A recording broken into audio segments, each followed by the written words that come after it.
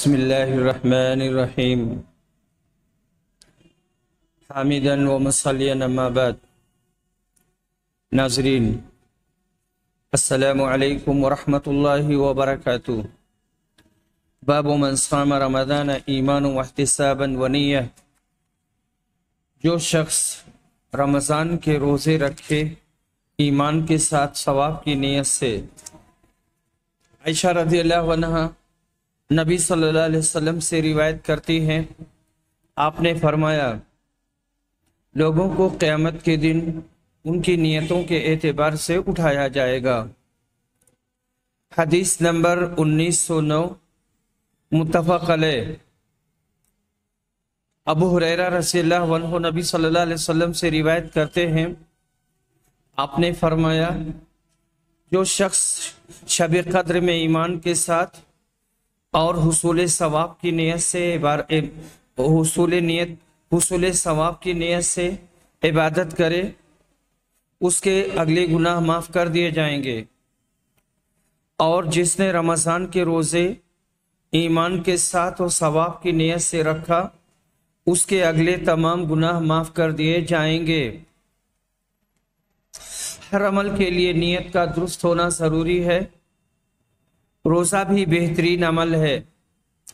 बशर्ते की खुलूस दिल के साथ महज रदा इलाही की नीयत से रखा जाए और हुक्म इलाही पर यकीन होना भी शर्त है कि महज अदायगी रस्म न हो, फिर न जवाब मिलेगा जो यहाँ मजकूर है।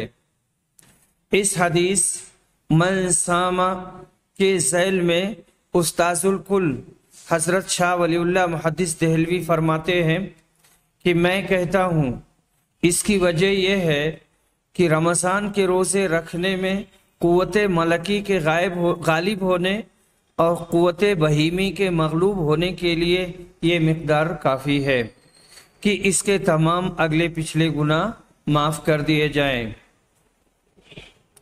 बाबुन अजबद नबी यकून फ़ी रमदान नबी सल्लल्लाहु अलैहि वसल्लम रमज़ान में सबसे ज़्यादा सखावत किया करते थे।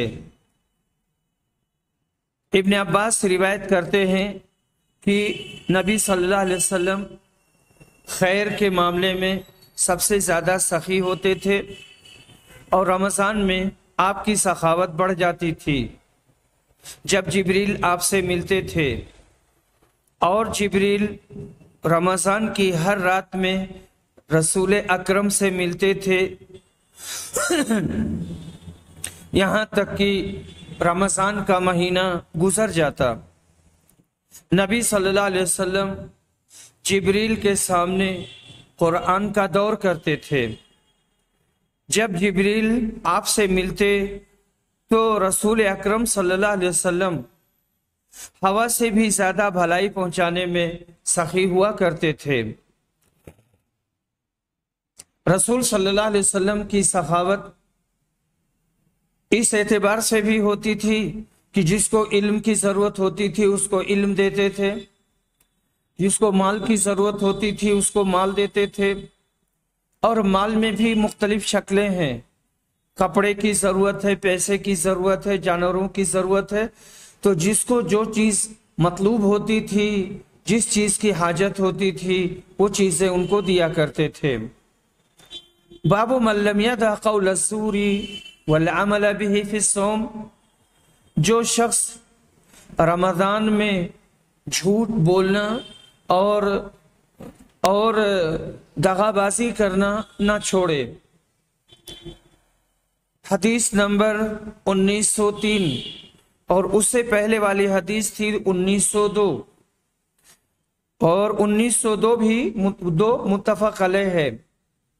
अबू हुरैरा रज़ील्लाहु वनहु रिवायत करते हैं कि रसूल सल्लल्लाहु अलैहि वसल्लम ने फरमाया, जिसने झूठी बात और उस पर अमल करना नहीं छोड़ा तो अल्लाह ताला को इस बात की हाजत नहीं है कि वो अपना खाना छोड़ दे और अपना पानी छोड़ दे। मालूम हुआ कि रोजा की हालत में झूठ और दगाबाजी ना छोड़ने वाला इंसान रोजा की तोहीन करता है। इसलिए अल्लाह के यहाँ उसके रोज़े का कोई वज़न नहीं।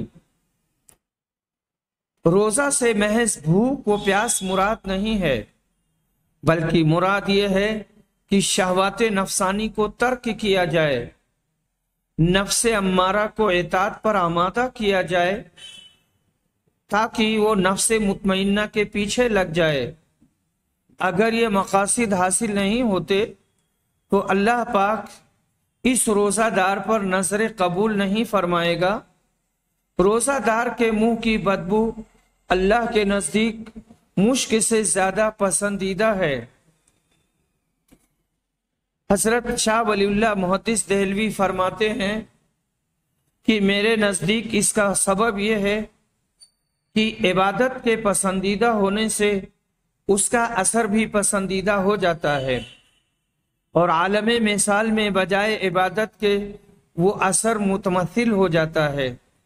इसीलिए उस आपने उसके सबब से मलाइका को खुशी पैदा होने और अल्लाह पाक की रसामंदी को एक पल्ला में और बनी आदम को मुश्क के सूंघने पर जो सुरूर हासिल होता है उसको एक पल्ला में रखा, ताकि ये रमज गैबी उनके लिए दाहिर हो जाए हजतुल्लाबालगा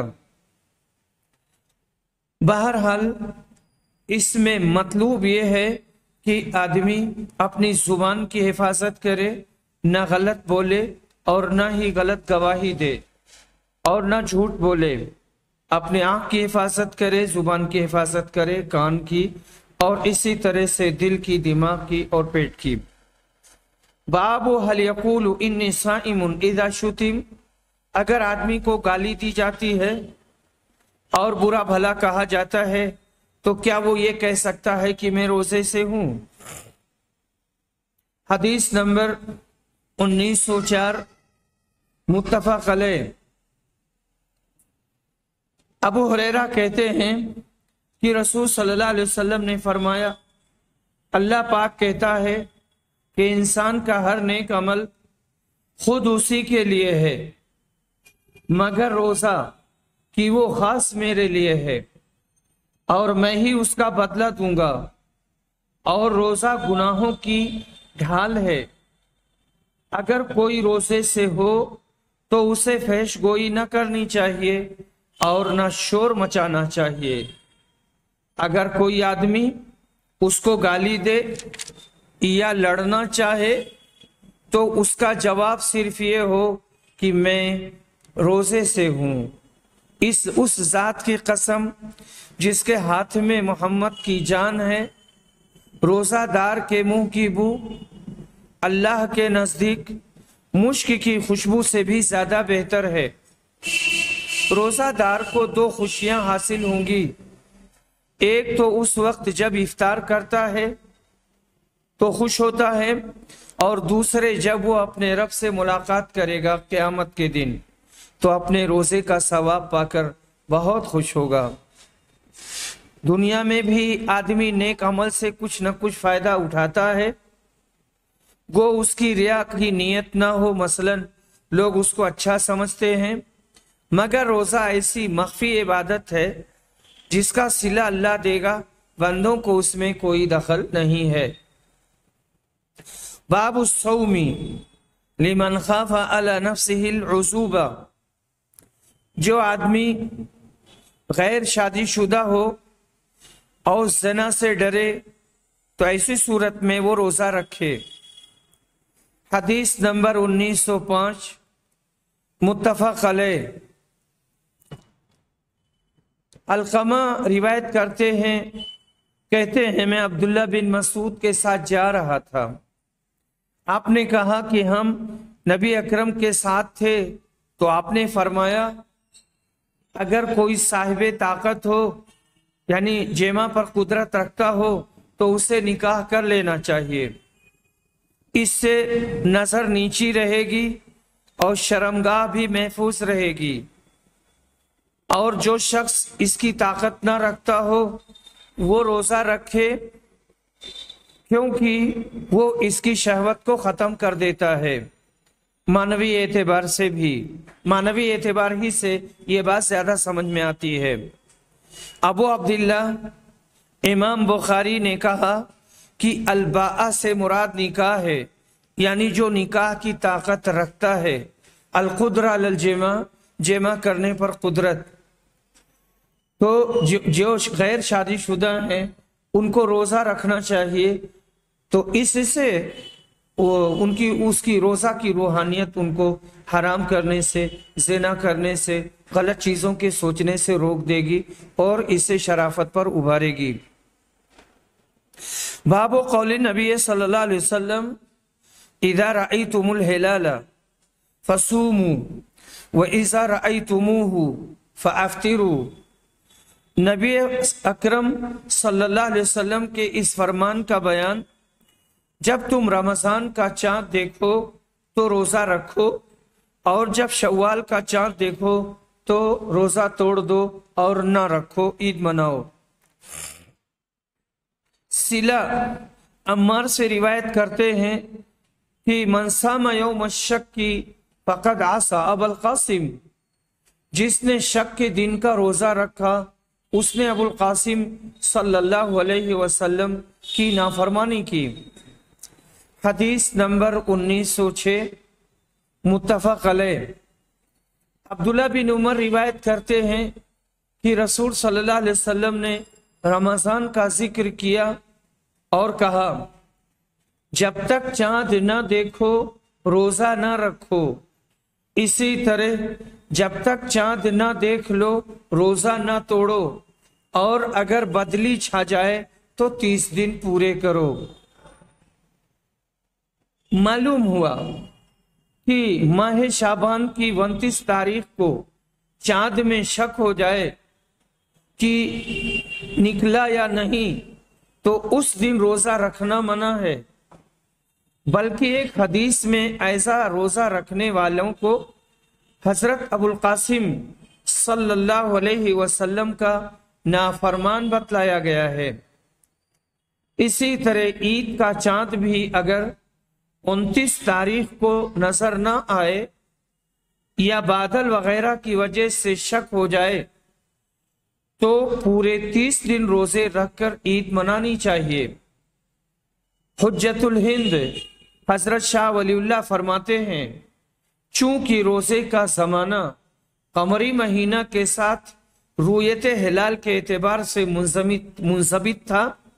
और वो कभी तीस दिन, और कभी उनतीस दिन का होता है। लिहाजा इश्तबाह की सूरत में इस इस असल की तरफ़ रुजू करना हुआ। हदीस नंबर 1907 मुतफक अब्दुल्ला बिन उमर रिवायत करते हैं कि रसूल सल्लल्लाहु अलैहि वसल्लम ने फरमाया महीना कभी उनतीस रातों का होता है और महीना कभी उनतीस रातों का भी होता है। इसलिए उनतीस पूरे हो जाने पर जब तक चाँद न देख लो, रोजा न शुरू करो और अगर बदली छा जाए तो तीस दिन पूरा करो। यहाँ मुल्ला अली कारी की इबारत नकल की गई है लमात से। कि जुमहूर सलफ और खलफ का इसी हदीस पर अमल है। बास लोगों ने हदीस बाला में लफ्ज फकदुरू से हिसाब नजूम का जब्त करना मुराद लिया है। ये कौल दुरुस्त नहीं है। और अहले नजूम का कौल एतमाद के काबिल नहीं है। आजकल तकवीम में जो तारीख बतलाई जाती है, अगरचे उनके मरातिब अगरचे उनके मुरतब करने वाले पूरी कोशिश कोशिश करते हैं, मगर शरय उमूर के लिए महज उनकी तहरीरात पर एतमाद नहीं किया जा सकता। ख़ासतौर पर रमज़ान और ईदैन के लिए रुएत हिलाल या दो मोतबर गवाहों की शहादत ज़रूरी है। हदीस नंबर 1908 मुतफ़ जबला बिन सुहैम रिवायत करते हैं, कहते हैं कि मैंने इब्ने उमर से सुना। इन्होंने बयान किया कि रसूल सल्लल्लाहु अलैहि वसल्लम ने फरमाया, महीना इतने और इतने दिनों का होता है। तीसरी मर्तबा यही बात कही, लेकिन अपना अंगूठा दबा लिया। आपकी मुराद ये थी, कभी महीना तीस दिन का होता है और कभी उनतीस दिन का होता है। हदीस नंबर 1909 मुतफक मोहम्मद बिन सियाद रिवायत करते हैं, कहते हैं कि मैंने अबू हरेरा से सुना। इन्होंने कहा था कि नबी अकरम सल्लल्लाहु अलैहि वसल्लम ने फरमाया, या यूँ कहा, अबुल कासिम सल्लल्लाहु अलैहि वसल्लम ने फरमाया, चाँद ही देखकर रोज़े शुरू करो। और चाँद ही देखकर रोज़े मौकूफ करो। और अगर बदली छा जाए तो तीस दिन पूरे करो। हदीस नंबर 1910 मुतफक उम सलमा रिवायत करती हैं कि नबी सल्लल्लाहु अलैहि वसल्लम अपनी बाज अजवाज से एक महीना तक का, तक जुदा रहे, यानी एक महीने का आपने ईला किया। जब उनतीस दिन हुआ तो सुबह के वक्त या शाम के वक्त आप उनके पास गए। इस पर किसी ने कहा, आपने तो अहद किया था और आपने कसम खाई थी कि एक महीना तक उनके यहाँ तशरीफ़ नहीं लाएँगे। रबी अकरम ने कहा, महीना उनतीस दिन का भी होता है और ये महीना उनतीस का है। हदीस नंबर 1911 अनस बिन मालिक रज़ी रिवायत करते हैं कि रसूल सल्लल्लाहु अलैहि वसल्लम ने अपनी बीवियों से ईला किया और आप उनसे अलग हो गए। आपके पाओ में मूछ आ गई। तो आपने बाला खाना में उनतीस दिन तक क्याम किया। फिर वहाँ से उतरे। लोगों ने कहा, अल्लाह के रसूल, आपने एक महीना का ईला किया था। जवाब में आपने फरमाया, महीना उनतीस दिन का भी होता है और ये महीना उनतीस का है। कुल मिलाकर के यहाँ कहना यह है, इतनी हदीसें आई कि जब चाँद निकले तो रोजा रखेंगे और जब चाँद दिखे शवाल का तो ऐसी सूरत में ईद मनाएँगे। अगर भी इसमें शुभा हो जाता है तो फिर शुबह पर अमल नहीं करेंगे, यकीन करेंगे, महीना तीस पूरा करके या तो रोजा रखेंगे या ईद मनाएँगे। बाब, बाबो शाहरा ईदिन लायन कुसान ईद के दो महीने कम नहीं होते। काल अबू अब्दुल्ला इमाम बुखारी कहते हैं, इसहाक ने कहा वह इनका नाकिसन हुआ तामुन। अगरचे वो नाकिस हो तो ताम है। यानी उनतीस हो, तभी वो पूरा है, और तीस हो, तभी पूरा है। और मोहम्मद बिन सीरीन कहते हैं लायज तमिया ने केला हुमा नाकिस कि दोनों एक साल नाकिस नहीं होते। एक ही साल में एक उनतीस होगा तो एक तीस हो सकता है। इमाम बुखारी रहमोल्ला ने इसहाक और इब्ने सीरीन के कौल नकल करके इस हदीस की तफसीर कर दी। इमाम अहमद ने फरमाया है कायदा यह है कि अगर रमज़ान उनतीस दिन का हो तो जिलहिजा तीस दिन का होता है। अगर जिलहिज उनतीस दिन का हो तो रमज़ान तीस दिन का होता है। बाद साल ऐसे भी होते हैं कि रमज़ान और जिलहिज उनतीस दिन के होते हैं। इसलिए सही इसहाक बिन रावे की तफसीर है। इमाम बुखारी ने इसीलिए इसको पहले बयान किया कि राजे यही है। शाह वलील्ला मोहदिस दहलवी कहते हैं, शाहरा ईदिन लायन कुसान बाज के नज़दीक इस के माना यह है कि उनतीस उनतीस दोनों के नहीं होते। बास के नज़दीक इसके ये माना है कि तीस और उनतीस का अजर बराबर ही मिलता है। और ये आखिरी माना कवायद शरिया के लिहाज से ज़्यादा चश्मा होते हैं। गोया आपने इस बात का दफ़ा करना चाहा कि किसी के दिल में किसी बात का वहम ना गुजरे। हदीस नंबर 1912 मुत्तफक अलैह। अबू बक अब्दुलरहमान बिन अबी बकरा अपने वालिद अबू बकरा से रिवायत करते हैं कि नबी सल्लल्लाहु अलैहि वसल्लम ने फरमाया, दोनों महीने नाकिस नहीं होते। यानी रमज़ान और जिलहिज के दोनों महीने जो ईद के हैं। अबू अब्दुल्ला इमाम बुखारी कहते हैं, इमाम अहमद ने कहा, अगर रमज़ान कम, यानी उनतीस दिन का होगा तो जिलहिज पूरा तीस दिन का होगा। और अगर जुलहिज कम हो जाए तो रमज़ान पूरा होता है। और अबुल हसन का बयान है कि इसहाक बिन रावे कहते थे कि फजीलत में दोनों कम नहीं, अगरचे उनतीस के हों या तीस दिन के। और इसके बाद में यहाँ पर जो हमारा मसला आ रहा है वो ये कि हम लोग हिसाब नहीं लगाते। लैनक तुबो लैन सुबह हम लिखते नहीं और हिसाब नहीं लगाते रसूल अकरम के इस फरमान का बयान। हदीस नंबर 1913 मुत्तफक यहाँ पर जो रिवायत है, वो इब्ने उमर से है। वो नबी सल्लल्लाहु अलैहि वसल्लम से रिवायत करते हैं आपने फरमाया, हम पढ़े लिखे लोग नहीं हैं और ना ही हिसाब करना जानते हैं। महीना यूँ होता है, यूँ आपकी मुराद एक मर्तबा उनतीस दिनों से थी और एक मर्तबा तीस से। आपने दसों उंगलियों से तीन बार बतलाया। तीन बार बतलाया, ऐसे ऐसे ऐसे, ये तीस दिन हो गए। और एक बार कहा ऐसे ऐसे और ऐसे। तो तीसरी बार उंगली को दबा लिया, अंगूठे को दबा लिया, यानी उनतीस। से हदीस, उनतीस। से उसके बाद में यहाँ पर जो हमारा मसला आ रहा है, वो ये कि इस्तकबालिया रोजा नहीं रखेंगे। एक दिन का या दो दिन का।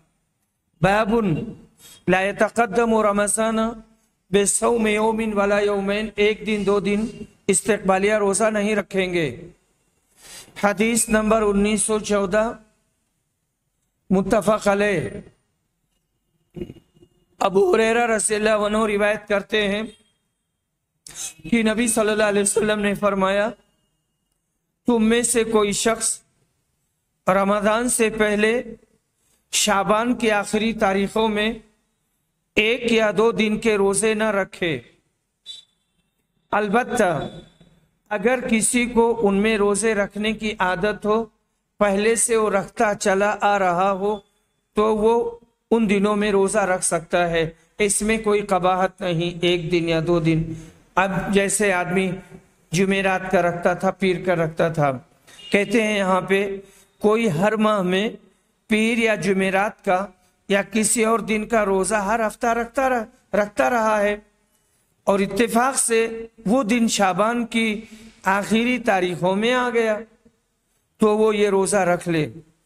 निसफ शाबान के बाद रोजा रखने की ममानियत इसलिए भी वारिद हुई है ताकि रमज़ान के लिए ताकत कायम रहे और कमज़ोरी लाक ना हो। अलगरस हर हर कदम पर शरीयत के अमर नहीं को सामने रखना यही दीन और यही इबादत और यही इस्लाम है। और यही ईमान हर हर जगह अपनी अक्ल का दखल हरगिज हरगिज न होना चाहिए और शरीयत जिन चीज़ों के करने का हुक्म देती है, आमन्ना व सदकना और फिर उसे मिन व अन कबूल कर लेना चाहिए। इसका मतलब ये हुआ कि इस्तकबालिया रोजा नहीं रखेंगे।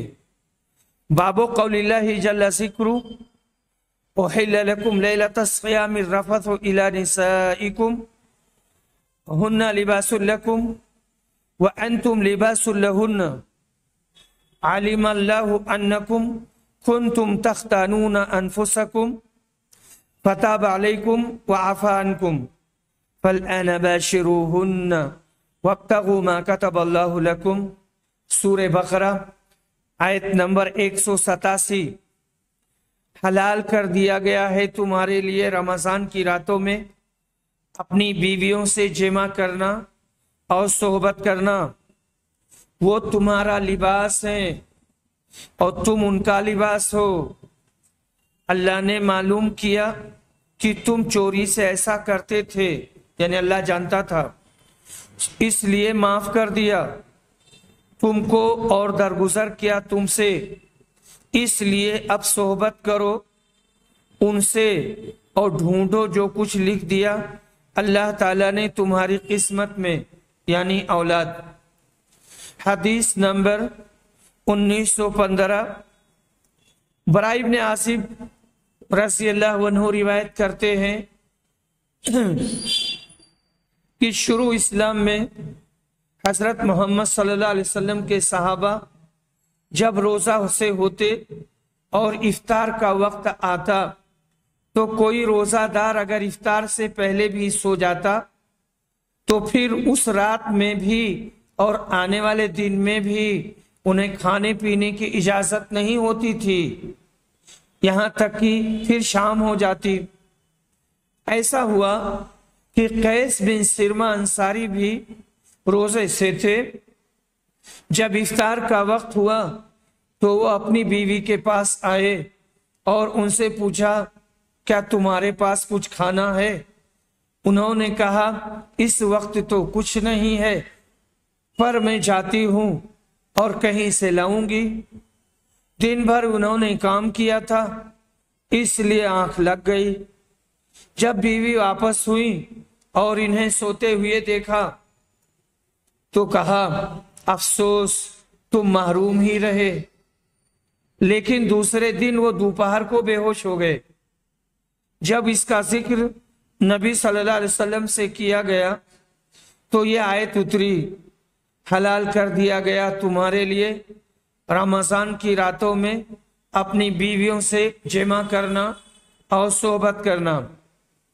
इस पर साहब किराम बहुत खुश हुए और ये आयत नाजिल हुई, खाओ, पियो, यहाँ तक कि मुमताज़ हो जाए, तुम्हारे लिए सुबह की सफेदी, सुबह की सफ़ेद धारी, यानी सुबह सादिक सियाह धारी से, यानी सुबह काजिब से। खाओ, पियो, यहाँ तक कि सुबह सादिक सुबह काजिब से नुमाया हो जाए। नसई की रिवायत में ये मजमून है कि रोजादार जब शाम का खाना खाने से पहले सो जाए, रात भर कुछ नहीं खा पी सकता था। यहाँ तक कि दूसरी शाम आ जाए। और अबू शेख की रिवायत में यूँ है कि मुसलमान इफ्तार के वक्त खाते पीते, औरतों से ताल्लुकात कायम करते, जब तक सोते नहीं। सोने के बाद फिर दूसरा दिन खत्म होने तक कुछ नहीं कर सकते थे। ये इब्तदा में था। बाद में अल्लाह पाक ने रोजा की तफसीलात से आगाह किया और जुमला मुश्किलात को आसान फरमा दिया। बाबो वकुलु वशरबु खैतुल मिनल अस्वद मिनल फज्र।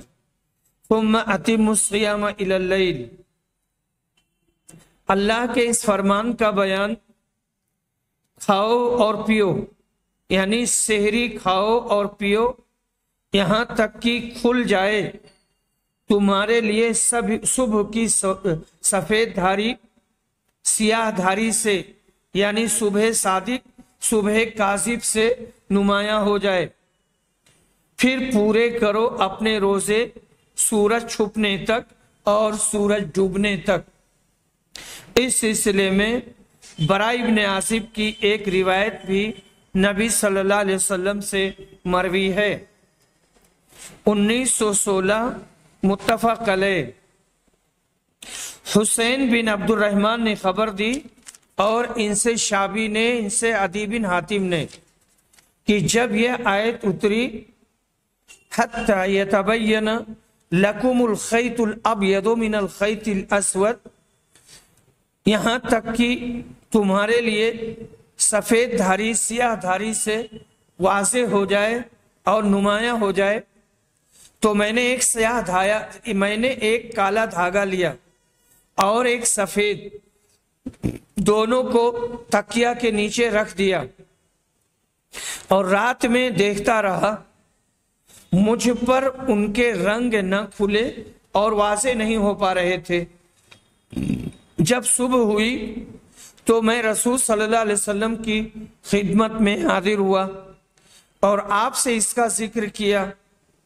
आपने फरमाया कि इससे तो रात की तारीकी और दिन की सफेदी मुराद है, यानी सुबह सादिक और सुबह काजिब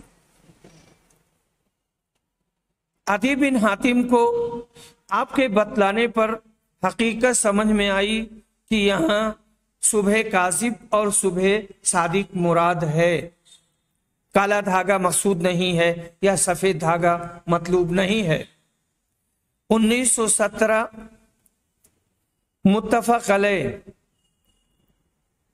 सहल बिन साद रिवायत करते हैं कि ये आयत नाजिल हुई खाओ पियो। यहाँ तक कि तुम्हारे लिए सफ़ेद धारी, सियाह धारी से खुल जाए।